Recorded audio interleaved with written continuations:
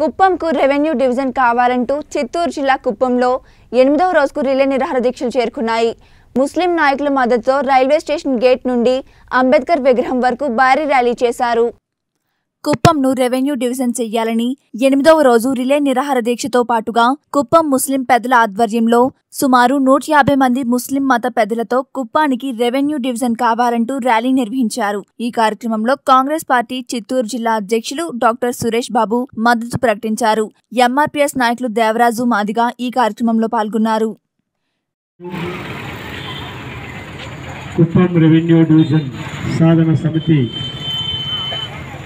Committee సభ్యులకు అదేవిధంగా కుప్పం ముస్లిం సోదరులకు గౌరవనీయులు కాంగ్రెస్ పార్టీ జిల్లా అధ్యక్షులు సురేష్ సార్ గారికి ఇంకా రహమతుల్లా గారికి అందరికీ కూడా నా ప్రత్యేకమైనటువంటి ఉద్యమ విప్లవ జయభీములు తెలియజేసుకుంటున్నాను. ఈరోజు ఈ ఆంధ్ర రాష్ట్రంలో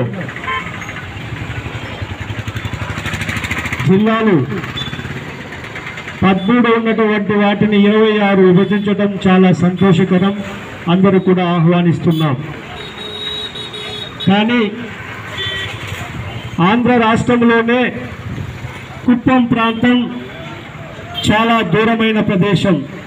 ఆనాడు ఉమ్మడి రాష్ట్రంలో హైదరాబాదు మనకు రాష్ట్రంగా ఉంటే రాజధానిగా ఉంటే కుప్పం నుండి ఒక పనికి వెళ్ళాలంటే చాలా దూరం ఉండేది. అటువంటి సమయంలో కుప్పం ప్రదేశంలో మన ముస్లిం సోదరులు చెప్పిన విధంగా ఒక ఐఏఎస్ క్యాడర్ అధికారిని ఇక్కడ రెవెన్యూ పరంగా ఏర్పాటు చేయడం జరిగింది. ఎందుకంటే కుప్పం నుండి మదనపల్లికి పోవాలంటే సుమారు నూట ఇరవై ఎనిమిది కిలోమీటర్లు ఉండేది చిత్తూరుకు వెళ్ళాలంటే సుమారు నూట యాభై కిలోమీటర్లు ఉండేది అటువంటి సమయంలో రైతులకు ఈ యొక్క భూ సమస్యలు ఎక్కువగా ఉండటం వల్ల ఇక్కడ అనేక పరిపాలనలు కూడా చాలా ఇబ్బందికరంగా కుప్పం ప్రాంతంలో ఉన్నటువంటి ప్రజలందరూ కూడా SC ST BC Muslims minority వర్గస్తులు అందరూ కూడా చాలా చాలా ఇబ్బందికరమైన స్థితిలో ఉన్నాం. ఈరోజు జిల్లాను విభజించడమే చాలా సంతోషకరమైతే రెవెన్యూలను విభజించడంలో చాలా రాజకీయాలు జరిగాయి. వాళ్ళ యొక్క రాజకీయాల స్వలాభాల కోసం ఈరోజు ప్రజల యొక్క మనోభావాలు దెబ్బతీస్తున్నటువంటి ఈ ప్రభుత్వం చాలా ఇబ్బందికర స్థితిలో పడుతుందని కూడా మేము చాలా మందికి హెచ్చరించాం. ఎందుకంటే కుప్పంలో ఉన్నటువంటి ప్రదేశం ఇక్కడ నాలుగు మండలాల్లో ఉన్నటువంటి రైతులు చాలా ఇబ్బంది పడుతున్నారు. దయచేసి ప్రభుత్వం ఈ కుప్పం ప్రదేశంలో ఈ ఉద్యమాన్ని ప్రారంభించారు. కుప్పంలో ఉన్నటువంటి నాలుగు మండలాల్లో ఉన్నటువంటి అందరూ కలిసి ఎస్సీ ఎస్టీ బీసీ మైనారిటీ నా ముస్లిం సోదరులకి మరి అదేవిధంగా పార్టీల పరంగా తీసుకుంటే మొదటి నుండి చేదోడు వాదోడుగా ఉంటున్నటువంటి కాంగ్రెస్ పార్టీ జిల్లా అధ్యక్షులు సురేష్ బాబు సార్ గారికి తన వంతు బాధ్యతగా ప్రతిపక్ష హోదాలో ఉంటూ ఈ కార్యక్రమానికి కూడా రెవెన్యూ డివిజన్ కావాలి అని చెప్పి వాళ్ళ అధినాయకుడు చెప్పాడో చెప్పలేదో తెలియదు కానీ మేము ముందుండి నడిపిస్తామని చెప్తున్నటువంటి డాక్టర్ వెంకటేష్ గారికి వారితో పాటు ఆమ్ ఆద్మీ పార్టీ వజీర్ బాషా గారికి మరి అదేవిధంగా నిన్న వచ్చినటువంటి బీజేపీ పార్టీ వారికి కుల సంఘాలుగా పిలువబడేటువంటి భారతీయ అంబేద్కర్ సేన మాలమహానాడు మాదిగ రిజర్వేషన్ పోరాట సమితి ఇలా ఈ యొక్క కార్యక్రమానికి ఎనిమిది రోజుల నుండి విచ్చేస్తున్నటువంటి ప్రతి ఒక్కరికి శిరస్సు వంచి మాదిగ రిజర్వేషన్ పోరాట సమితి నమస్కారాలు తెలియజేసుకుంటాం అసలు రెవెన్యూ డివిజన్ గురించి చాలా మంది మాట్లాడారు. మా బాయకులు మాట్లాడారు ఉర్దూలో మాట్లాడి నాకైతే అర్థం కాలేదు కానీ ఒకడైతే బాగా అర్థమైంది కుప్పానికి రెవెన్యూ డివిజన్ కావాలని చెప్పి బాగా చెప్పాడు. ఎంత మాట్లాడినా కుప్పానికి రెవెన్యూ డివిజన్ కావాలని బాగా చెప్పాడు.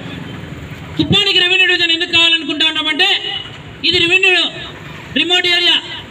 చాలా మంది ఎస్సీ ఎస్టీ బీసీ మైనార్టీ సోదరులు ఈ రోజు కూడా ఒక ఆర్టీఓను ఒక డిఎస్పీను చేరుకోవాలంటే చేరుకోలేని పరిస్థితి ఉంది. ఈరోజు ఎక్కువ ముస్లిం సోదరులే ఉన్నారు కాబట్టి వారి గురించే మాట్లాడదాం.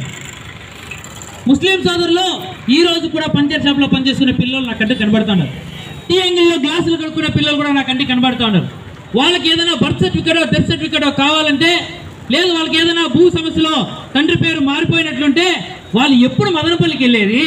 వాళ్ళు ఎప్పుడు మదనపల్లిలో పేరు మార్చుకునేది వాళ్ళు ఎప్పుడు ఇక్కడికి వచ్చేది? ఇది రెవెన్యూ డివిజన్ గురించి. ఎందుకంటే చిన్నగా ముగిచ్చేస్తాం.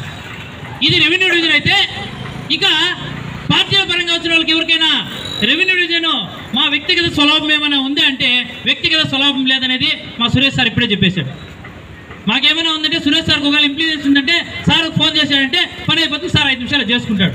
కానీ ఇక్కడ ఉన్నటువంటి ఎస్సీ ఎస్టీ బీసీ మైనార్టీ అగ్రవర్ణ పేదలందరూ కూడా బాగుండాలని చెప్పి కాంగ్రెస్ పార్టీ భావించింది కాబట్టి వారందరి కోసం ఇక్కడ రెవెన్యూ డివిజన్ మీరు పొలంనేరులోనే మేము మద్దతు ఇస్తూనే ఉన్నాం.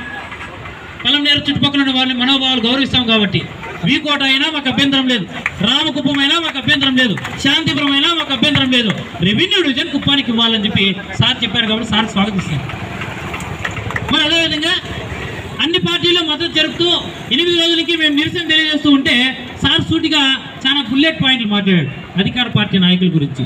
మీరు ఒకటే చెప్పండి ఇప్పుడు కూడా అడుగుతున్నాం అధికార పార్టీ నాయకుల్ని. మీకు కుప్పానికి రెవెన్యూ డివిజన్ కావాలా వద్దా?